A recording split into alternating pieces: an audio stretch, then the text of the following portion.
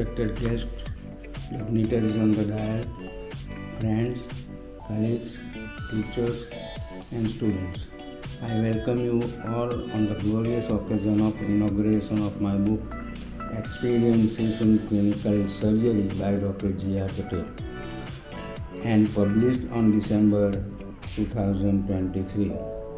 I worked as professor of surgery for 20 years I also served as the dean for five and a half years at GMAS Medical College, had the idea of writing a book was for many times for 2005 and I started collecting data. I have a surgical experience contains 1075 pages to I'm sure my experience will be particularly general surgery from MS University students will performing later in examinations.